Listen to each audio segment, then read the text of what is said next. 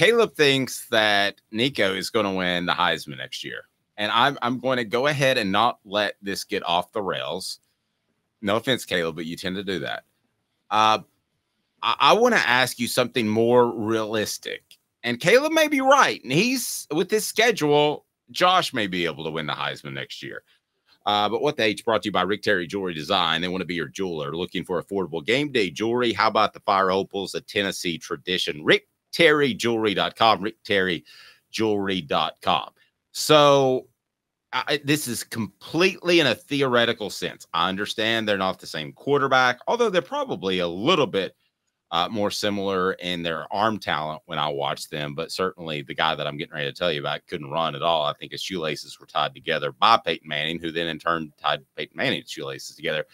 But would you take Casey Clausen's career as Nico's, which I think we would define right now as Casey Clausen was a very, very good leader amidst a program that had some malcontents he, he got to the SEC championship game. Wasn't his fault they didn't win it. There was a fumble by Donté Stallworth and a fumble by Travis Stephens that cost Tennessee a trip to play for the national championship. He was a road warrior. So if I told you you get Casey Clausen's career, that level of success, that level of play, would you walk away from the craps table, go cash out at uh, at the at the, the cashing thing, whatever they call that, at, or would you say no? I'm gambling for more from Nico. Josh, let me ask you that question. I think very highly of Casey Clausen. I still think he's underrated historically when we talk about Tennessee football. But no, I would not cash out for that. I would attempt to accomplish more both individually and with the team. Statistically, it's difficult to make comparisons just because the offensive game, especially what the system is with Josh Heupel, is different. The running ability that Nico has will give him so many more rushing yards and rushing attempts than what Casey did. Uh, the the the one pause I would have immediately before saying no is that 2001 season because the 2001 season had Tennessee in a position uh, I do know the result, so that factors in when you ask me the question. But Tennessee was in a position to win an SEC title, should have won it, honestly. And in that case, is playing for a national championship in a two team playoff system. If we had a 12 team playoff in 2001, Tennessee's still in the playoff. So the results would be different then if we're using the system now. But I would still say I would look for more accomplishments for Nico individually and try to win more as a program with Nico over the next what are we calling it 2 to 3 years. Okay, so I want to I, I want to be clear you're you're you're taking the risk that he he could be a bust and everything that I've heard about him is that that's not going to be the case. But you're also taking the risk that he could be average like Jarrett Guarantano. So you you you wouldn't you wouldn't even toy with that. You wouldn't gamble with that. You would walk on out and cash your chips out. Uh, I would no, I would uh, try to do more. Um, I think like I would if, too. Yeah, if if Tennessee has Casey's team results over the next two seasons, no conference title. Again, the the playoff thing's a little different. Um, like if they go to the play, let's say they even go to the playoff and they're one and done in the playoff in the next two years, and that's the end of Nico's run, then I think a lot of people are going to look at that as disappointing. If it's you know if it's ten and two, 10 and two, playoff appearance, no playoff wins, I mean there will be disagreement there. But uh, if it's if it's 01, 02, 03, let's say you have Nico for the next three seasons, because you're asking to take Casey's career. If it's 01, 02, 03, and Tennessee has some nice regular season wins, but it doesn't have any championships.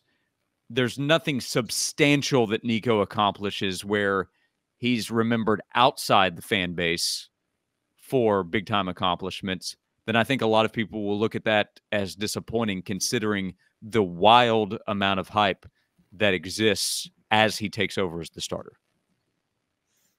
Yeah, and it's funny, Josh, because you brought up 2001 if Tennessee with Nico was going to do what it did with Casey in 2001, wouldn't Nico have to be significantly better than Casey in that alone? Because whatever, I like Casey too. I'm a fan of Casey, and I think he's underrated. But that 2001 team had the greatest interior defensive line in the history of college football, and it had a Hall of Fame tight end. It had two starters at receiver in the NFL. I mean, that that team was outside of the 97 or 98 team, maybe the most loaded team in Tennessee football history, talent wise. And next year's team is not that.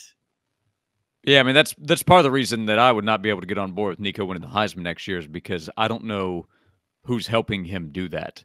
So, uh, yeah, you're you're right in terms of the team result. If Tennessee is going to do what the 01 team did or more, then Nico has to be special, and a lot of players on both sides of the ball have to be much improved in 2024. And maybe that happens, but that 01 team had legit NFL players. Not ah, maybe they'll get drafted guys.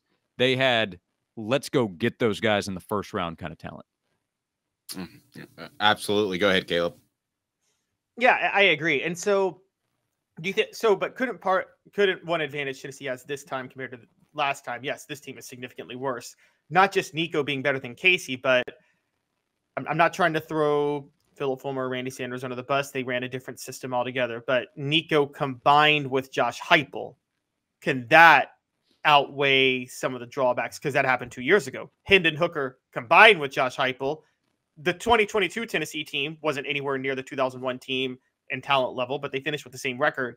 And it was because the combination of Hooker and Heupel just outweighed the combination of, sorry, Casey Clausen and Randy Sanders in 2001. Um, yeah, I, th- I, think it starts there. Heupel and Hooker were a terrific combination with what the system is, with some other players too. Jalin Hyatt's a Biletnikoff Award winner who is now showing that he belongs in the NFL too. Uh, Darnell Wright was a top 10 pick playing at right tackle. So it, it was more than them. But you're right. Heupel and Hooker are the biggest reason, that combination of why Tennessee was able to go win 10 games in the regular season. And pull off a historic combo, uh, a historic win against Alabama, 52 to 49. It took that though. It took that kind of performance and a Jahmyr Gibbs drop. Like if Jahmyr Gibbs doesn't drop the football on that final Alabama drive and they win the game, it doesn't change anything about what Tennessee was as a team. Changes the result, changes how it's historically remembered. So you still had to have some things come together for that magical season to exist the way that it did. And right now, I don't see that roster help for Nico. And the roster is a work in progress. We still have to see how the transfer portal works out. What if Mike Matthews comes in and he is just he is ready to go to make a big impact as a freshman? That's a big ask, but it's on the table in the what if scenario when we talk about Tennessee trying to repeat what it did in 2022 at the very least again in 2024. Josh's appearance brought to you by Dynasty Pools and Spas. I want to ask Josh if it's a disappointment if uh, Nico at some point during his career isn't invited to New York for the the Heisman Trophy ceremony. I'm interested to see what he has to say. Imagine having the best spas made right here in the United States of America in your backyard. Dynasty Pools and Spas has their showroom open in Athens with the best hot tubs and spas in the market. Delivery, yes, they can do that. So you can check it out, have it delivered.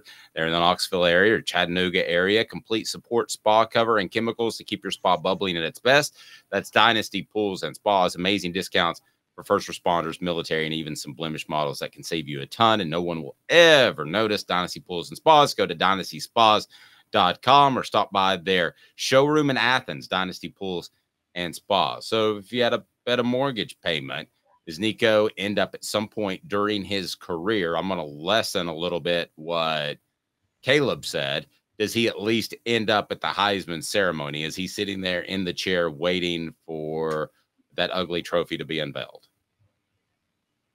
You don't like the trophy? I think it's an ugly trophy.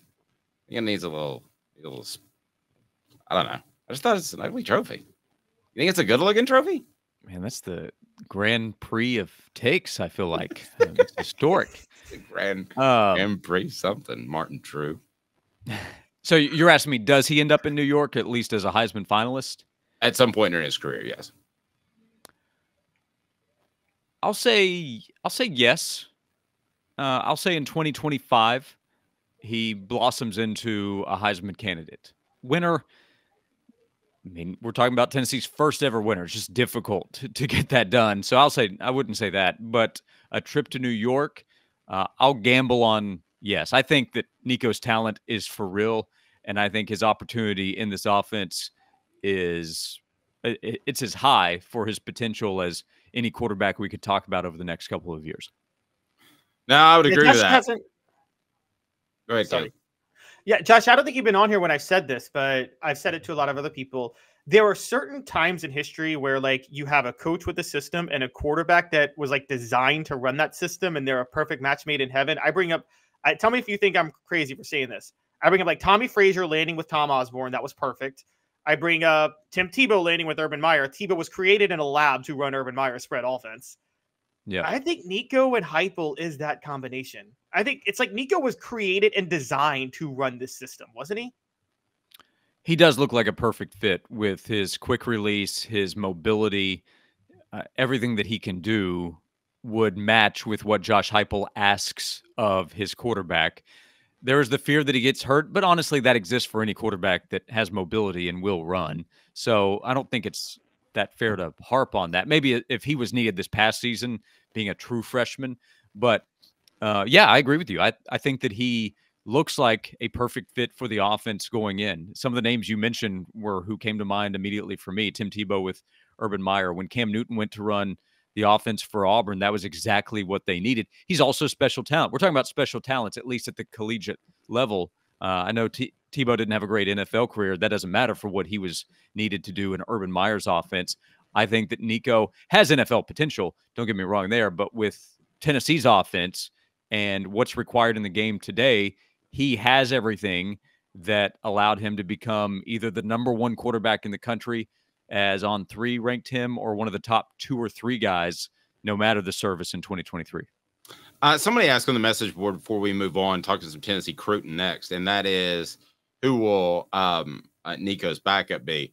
I'm going to go ahead and tell you for any big time program, it doesn't matter it really does anymore because the way the transfer it's probably going to be Jake Merklinger or the freshman coming in, I would think, but it doesn't matter because nowadays you're loading up for a quarterback just like in the NFL. If you lose your starting quarterback, that season's probably trashed. I mean, that's just basically. Well, Texas is in the playoff and they lost Quinn Ewers for multiple weeks. Well, and their and their backup quarterback just entered the transfer portal. Will not be there in the playoff. Maalik Murphy. That's a fair point, but don't you think that's going to be the exception to the rule? Well, sure. I mean, I I think it's the exception anytime you lose your starting quarterback that you're going to have that kind of success. But uh, we've seen backup quarterbacks have to step up and perform. I, yeah, Tennessee's history is relying on the backup quarterback. If we're talking about to go win the win a conference title, get to the playoff, compete for a national title, that's just so hard to do with your starter. So sure, that can wreck a season. But um, if we're talking about can you still win nine or ten games, and uh, again, a 12 team playoff the idea of getting in is different now. I think the backup quarterback is a really important role. I just think the day. I guess my point was, and maybe I didn't. Alabama won a title, making a change in the national yeah. title game.